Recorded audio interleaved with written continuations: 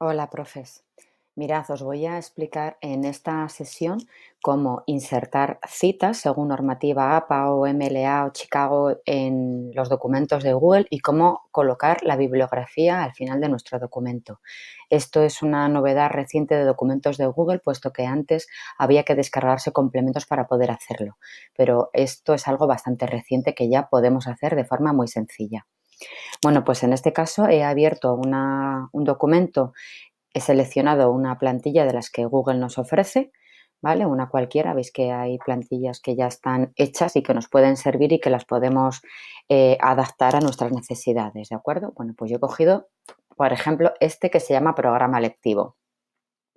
Bueno, pues imaginaros que en, en este apartado yo quisiera añadir la cita del libro de texto que yo voy a utilizar para mi asignatura. Bueno, pues nos iríamos a herramientas. En herramientas veis que tengo dos funcionalidades nuevas, una que es comparar documentos, que ya os explicaré en otra sesión su utilidad. Es fantástica para poder comparar los documentos que hayamos elaborado nosotros en distintos momentos o incluso para comparar documentos de dos estudiantes que nos hayan entregado una tarea y queremos ver si se han copiado o no se han copiado.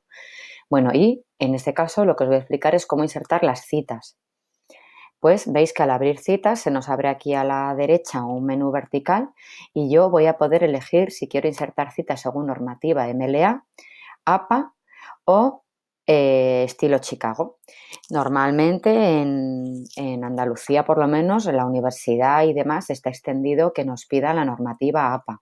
Entonces yo voy a seleccionar normativa APA y voy a poner añadir fuente de cita. Veis que ahora mismo no hay ninguna cita porque en este documento no he insertado ninguna, pero a medida que vayamos insertando citas en el documento, aquí va a ir apareciendo la lista una sobre otra. Voy a añadir fuente de cita.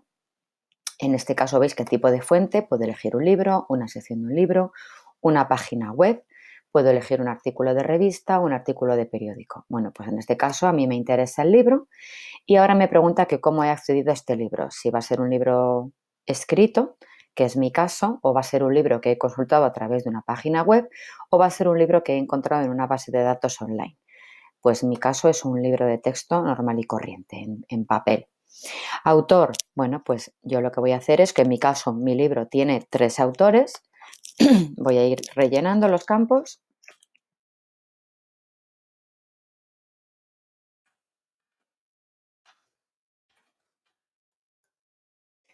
Como son tres autores, voy a añadir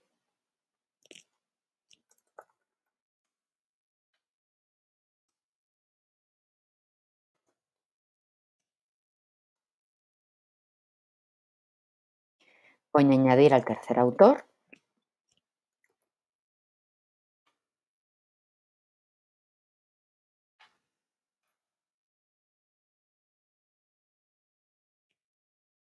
Ahora ya voy a añadir el título de mi libro de texto.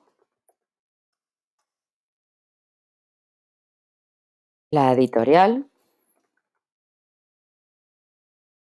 Y el año de la publicación, que en mi caso es de 2016. ¿Vale? Veis que aquí podría añadir más información. En mi caso mm, no es necesario. He rellenado los campos básicos. Estos sí que son obligatorios rellenar los autores, título, la editorial y el año. ¿Vale? Le voy a dar a añadir fuente de cita. Y veis que ahora ya aparece aquí toda la información citada según normativa APA. Y en este caso, imaginaros que yo aquí he puesto una frase. Aquí, por ejemplo, he escrito una frase.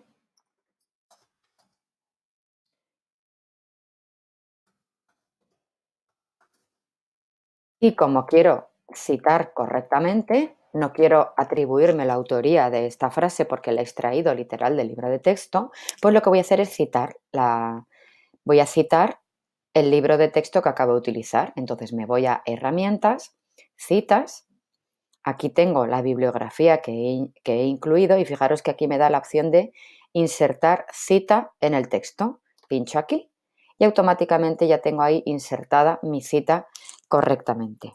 ¿Qué hago cuando yo me voy al final del documento? Al final del documento siempre tenemos la obligación de insertar toda la bibliografía completa que hemos utilizado en nuestro documento. Entonces, lo normal es que yo tenga esto cerrado. Nuevamente me iría a herramientas, citas, y en este caso yo lo que haría sería, aquí abajo veis que tengo el botón de insertar bibliografía.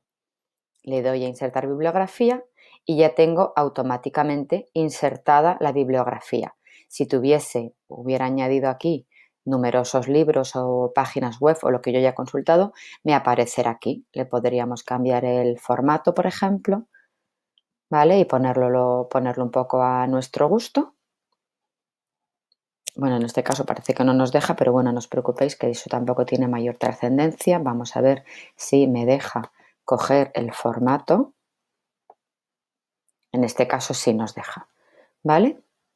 Bueno, pues ya veis que ha sido una cosa muy sencilla.